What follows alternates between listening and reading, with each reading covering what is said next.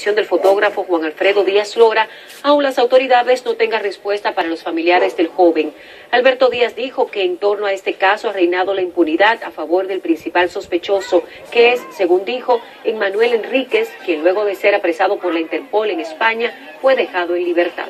Que ya dos años y cinco meses nosotros seguimos demandando justicia y la justicia o los representantes de ellos, tanto el jefe de la Policía Nacional como el procurador, se han hecho sordos, ciegos y mudos en relación a esta demanda, no se pronuncia. Para exigir justicia, la Comisión de los